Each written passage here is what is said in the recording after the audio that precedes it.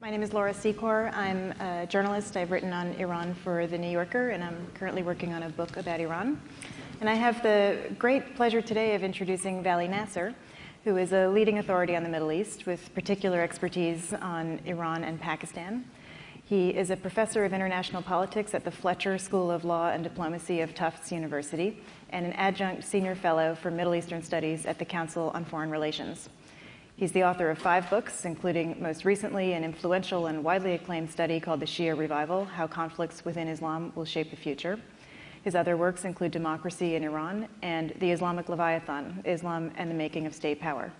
His latest project, his work in progress, will examine the importance of the private sector and the middle class in the transformation of the Middle East. It's called The Fateful Crescent The Commercial Revolution That Will Transform the Muslim World. So in its first days on the, um, its first 100 days on the Iran portfolio, the Obama administration's boldest move seems to have been to send a clear message to the Iranian regime that the United States is looking for constructive dialogue. The response from Tehran was essentially prove it, which some people have described as frosty and others have seen as cautiously receptive. But from there, we seem to have entered a sort of frozen situation until the next big event of uh, the next 100 days, which is Iran's June presidential election.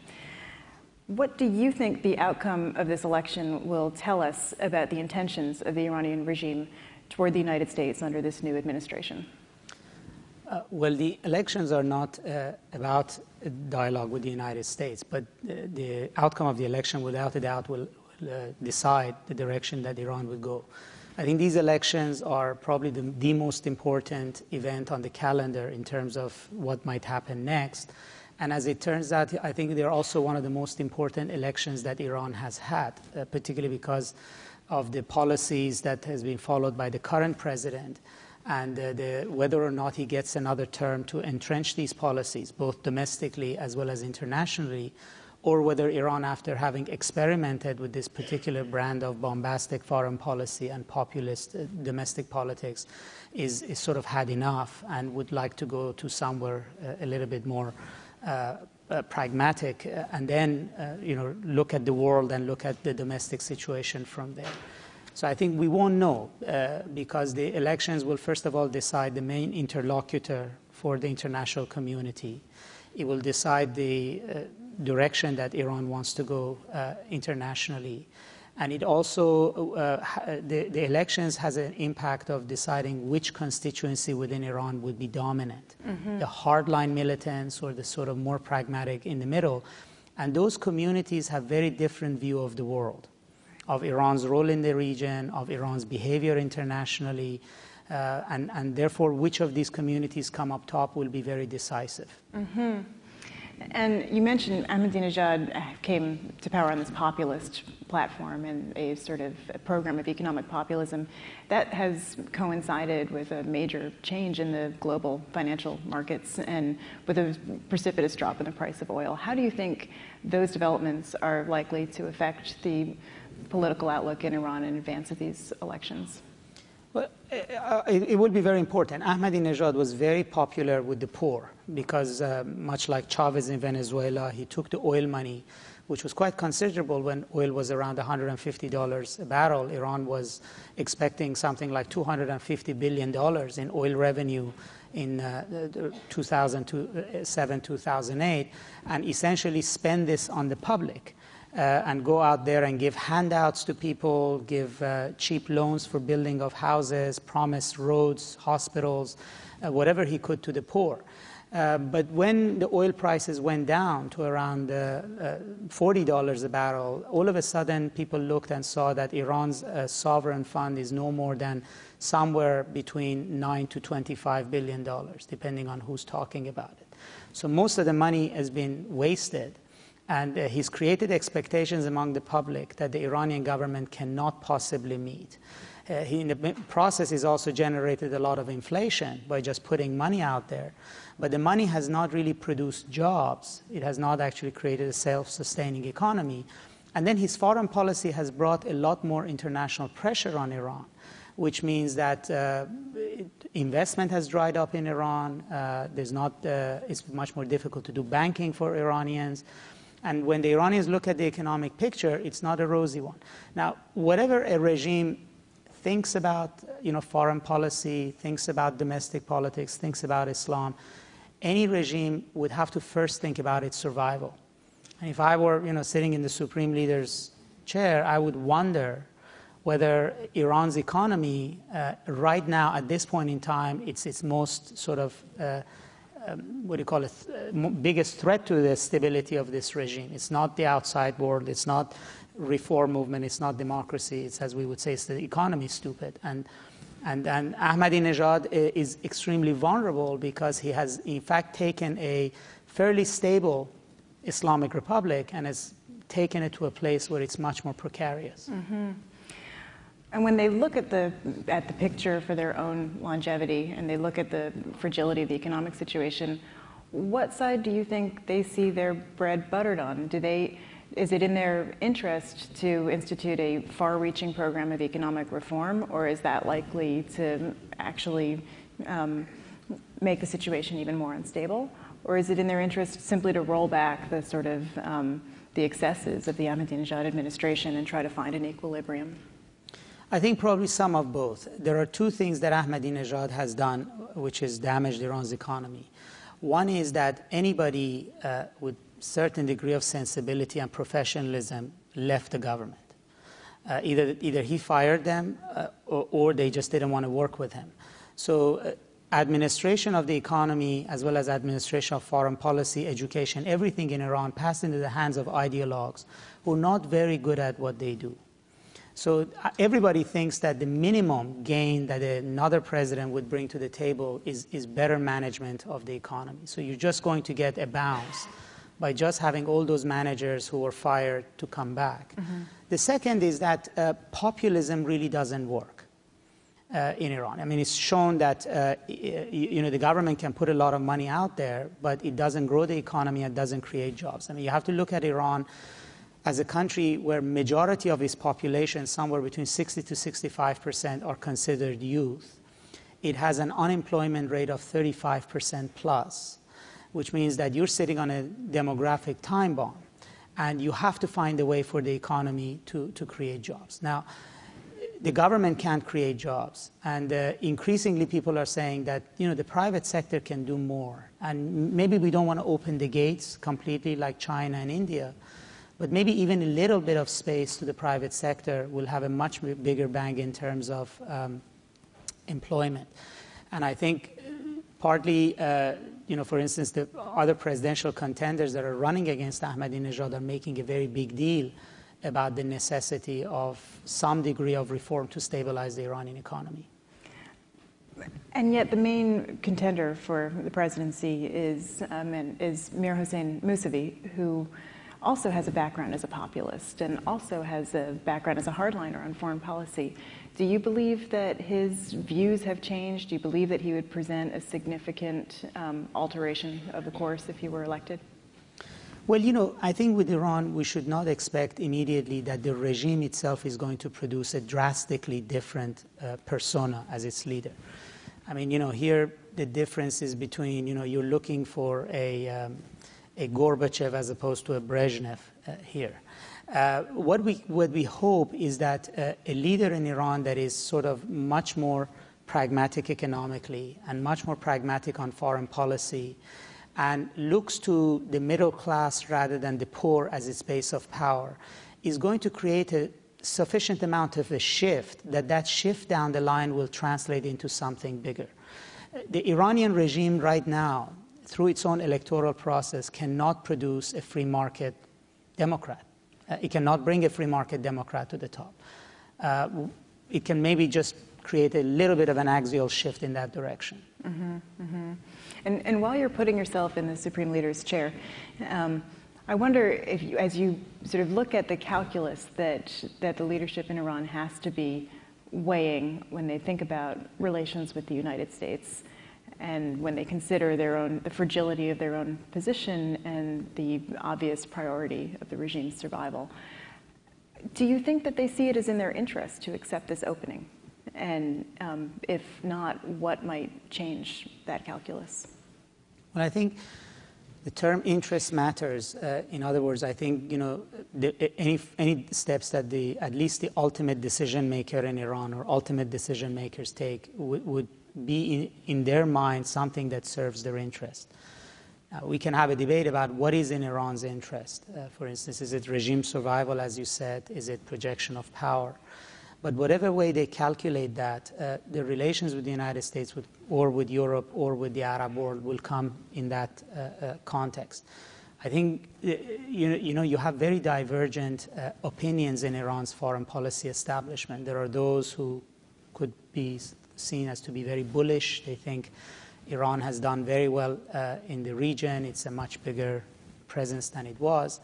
And then you are, there are those who think that, you know, uh, that Iran does have certain vulnerabilities, uh, including economic one, but also um, that it's now surrounded by conflicts on all the borders, that, you know, Afghanistan or Iraq uh, does cause certain worry for them, and that the energy markets are soft, and they have to sit down and calculate as to how to best calibrate uh, uh, the, the, the, the situation for themselves. I think, you know, the discussions will be focused on the nuclear issue because that's the pivotal issue for both Iran and the United States. But I think the calculations are, are much bigger. One of the um, really interesting points in your forthcoming book has to do with the collapse of the global financial markets and the um, you suggest that actually the Islamic financial markets have been strengthened by this because they, these markets have been shielded from some of the um, I think it's one of your sources, put it toxic assets and government takeovers that have plagued Western banks. Um, how do you see these markets? First, if you could tell us a little bit about what these Islamic markets consist of and how you see them possibly transforming the landscape in the Middle East. Well, uh, you know, at the height of uh, the financial boom, uh, no, we didn't really have to think about money that was outside of, uh, you know, the main mainstream of finance. But there is a lot of money in the Muslim world. Uh, not only in countries we're familiar with, like Saudi Arabia or United Arab Emirates, et cetera, which have a lot of oil money, but there's a lot of money in places that you don't even ex- expect. Like there's a lot of money in Pakistan, there's a lot of money in Iran. And uh, this money ultimately, if it cannot be invested locally tries to find its way elsewhere. And gradually, uh, sort of an international financial market has emerged. A lot of it centered on the city of Dubai in the Persian Gulf, with a lot of money coming from the rest of the Muslim world gets invested. Now, a lot of the Muslims uh, are also pious, and, and, in Islam, it's not allowed for you to either charge usury or pay interest on loans. So they look for investments that, um, that are more like profit sharing or uh, risk sharing, but that you don't pay or receive interest. And if they couldn't find these, these investments, they just don't put their money out there. And uh, the, sort of a global economy has begun, uh, global financial products have come about that now are tapping into this demand, which means anything from car loans to hedge funds to banking services have emerged that are trying to tap into this market. Now, the there are certain advantages to it, uh, given the current situation. One is one of the rules of Islamic uh, finance is that um, you cannot essentially speculate. You cannot uh, speculate on, on ether. There has to be a tangible asset associated with what you do. And as a result, they didn't buy into a lot of the, as you call it, toxic financial uh, services. And now there is a lot more interest in that part of the world in, in, in those kind of services. Is Iran a part of this? Iran actually has the largest uh, chunk of uh, what they call Islamic banking. Uh, but a lot of Iranians have also, because of absence of financial uh, uh, capabilities in our country, have put their money outside in a lot of these uh, funds in, in Dubai, in Abu Dhabi, in Kuala Lumpur. I mean, estimates are that upwards of a third of Iran's oil revenue annually leaves the country in form of investments. I mean, it's a country of 70 million people. Despite its hobbled economy, it is still a very wealthy country, and there is enough economic activity that generates a lot of money. And this money finds its way into international markets, essentially through this medium of Islamic banking and other services in, in, in these parts of the world. I see. So sanctions, in a sense, does not have an impact on that. Sanctions makes it a lot more difficult. Uh, Islamic banking now is part of Main Street banking. There is, a, for instance, an Islamic bond index on Dow Jones. Uh, every major Amer- uh, European bank now offers Islamic financial services. Uh, they, they, are competing very aggressively. For instance, the city of London is competing very aggressively with Dubai and Kuala Lumpur to become the main hub for issuing of Islamic bonds. And therefore, it, they're not necessarily separable as, as easily. Ultimately, a money that goes into an Islamic bank in Dubai would end up, uh, you know, on, on part of the assets in Citibank. And uh, so, yes, the sanctions do matter because they, they do interfere, but, uh, but there are other channels that are, as, as you say, that are not through mainstream here. But they are interconnected, so the downturn of the Western financial markets doesn't ultimately redound to the benefit of these emerging Islamic markets. Yes and no, uh, in the sense that Islamic, Islamic markets tend to, have, to, tend to have been very heavy in real estate because they look for tangible assets to associate with, with investment. And the, fall, the global fall of the real estate market does impact where their money has been. Um, and, and, therefore, particularly for instance, uh, in, in, the Persian Gulf, places like Dubai uh, have, have uh, been downsized severely uh, as a consequence of the collapse of the real estate market.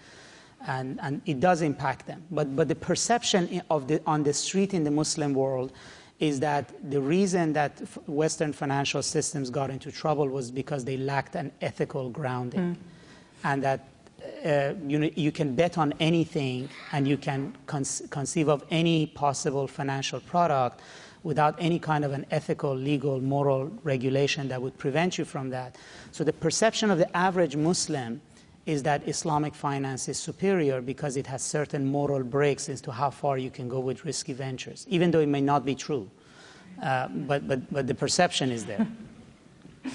I see. So just uh, since I know we're um, running down the clock a little bit. I wanted to return to the elections in Iran. You mentioned at the beginning that you thought this was one of the most important elections, both for Iran and for the international picture. And I wonder why you say that. What, what is so important about this election to the Iranian domestic political scene? First of all, I think every election in Iran is important because it's one of the very few places in the Middle East that actually has uh, an election that is meaningful. In other words, these are not open elections, but the results are not foretold. And, and people do lose. I mean, Iran is actually the only country in the Middle East to have former heads of state alive in their own countries. Uh, it doesn't exist elsewhere. So, so every time the Iranians go through this exercise, uh, a new generation learns about voting. A new generation does it. Uh, I mean, the Iranians become much more acclimated with demo- the small d democracy. Mm-hmm. So that matters. Secondly, I think because um, the Ahmadinejad experiment in Iran was such an extreme experiment for even the average Iranian people at every level. He took power from the middle class and is trying to take it back and put it among the lower class. He adopted a very uh, confrontational foreign policy, as we know, on multiple fronts. And then he has also debased uh, Iran's economy and, and government institutions and the like. So the, the key issue is that uh, can, can he be stopped at this stage? Or will have another five years of pursuing the same policies, and another five years of Ahmadinejad would put Iran at a very different place. Right. So it's a fateful in a, election more so than the previous ones. And he's facing challenges from two directions at the moment. One, the sort of the major challenger from the reform camp is Mir Hossein Mousavi, who was prime minister in the 80s. And on the other side, there, there does seem to be a bloc of conservatives who are looking to stop him. So, what do we make of the emergence of this conservative challenge, and who do they represent in your view? It could potentially be very serious. There are two groups of conservatives in Iran. There are the hardline, militant conservatives, and then you have the sort of more pragmatic conservatives. I guess, you know, in an American context, it's kind of like a McCain Huckabee fight. Uh, uh, sort of the old, the, the old guard. Who is who? well, I, I, won't say which ones ought to be, but, uh, but, but uh, in the sense that, that you know, the conservatives in Iran are not one bloc. Uh, they, they, differ on foreign policy issues, but also they differ on the economy. There's a group of conservatives who are very mercantile and middle class and private sector oriented, and then there's a group of uh, conservatives who are populist.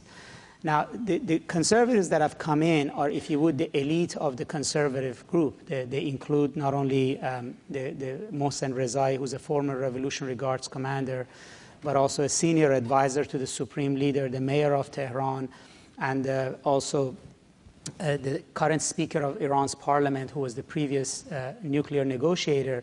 They have created this alliance against Ahmadinejad. And that's a, quite a formidable alliance. And, and it could potentially divide the vote in favor of the reformists. And that's the reverse of what happened last time, hmm. when the reformist vote was divided in favor of the conservatives.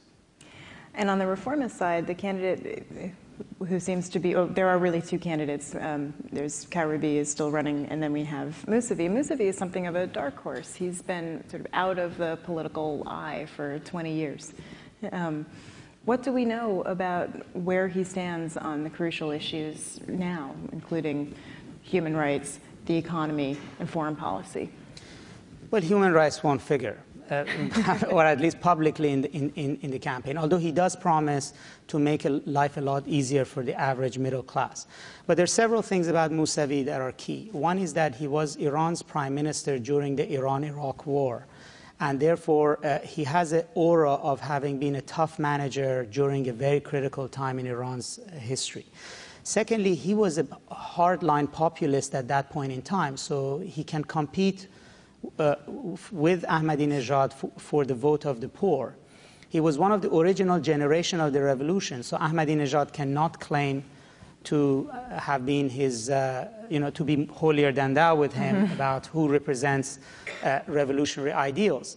Uh, but the, the, the, critical issue is this, is that Mousavi claims to have been transformed over these years into a reformist, something like what we see with leftist Latin American presidents who later on became pro-market. But he also, when he was prime minister, the supreme leader then was the president, and they were constantly fighting. And there is a part of the supreme leader who thinks of Musavi as somebody who was once his equal, and he will not accept the supreme leader as his uh, you know, boss when he comes in. And it's possible that the supreme leader will just worry on that personal issue with him, and which is one, the one reason why a lot of Iranians may actually vote for him, mm. believing he's the one person who can stand, stand up to the up. supreme leader. Um, I saw some, some numbers today that were really quite striking. There was an opinion poll, and I guess we know these are not terribly reliable in Iran, but it showed Mousavi and Ahmadinejad neck and neck, about one percentage point apart with Mousavi in the lead. It's, it's quite correct, but you see, the, in Iran, everything comes down to voter turnout because there is a 20% of the, of the population who will vote hard right, and they always show up for voting. And if you don't have voter high turnout, in particularly in the big cities like Tehran, Ahmadinejad will likely win. So a low turnout vote is to his benefit, and that's why he engages in all kinds of uh, intimidation tactics, including arrest of foreign journalists, arrest of student leaders, breaking up of civil society groups, because he wants the voters, particularly the middle class voters, to stay home. So, you know, the, the polls are good indicators, but it really comes down to if they show up. Right. Well, I think we're um, running out of time, so. Thank you so much. Thank you. Thanks very much.